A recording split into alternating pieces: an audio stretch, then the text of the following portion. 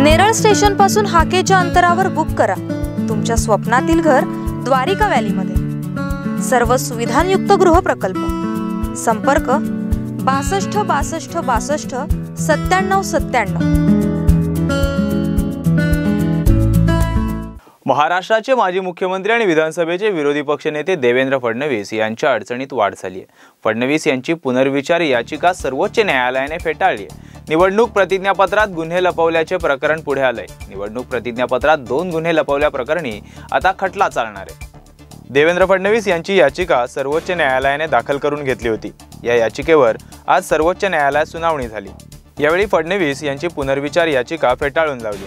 त्यामुळे फडणवीस यांच्या अडचणीत वाढ झाली दोन हजार चौदा रोजी विधानसभा निवडणुकीवेळी उमेदवारी अर्ज दाखल करताना फडणवीस यांनी प्रतिज्ञापत्रात दोन गुन्हे लपवल्याचा त्यांच्यावर आरोप आहे.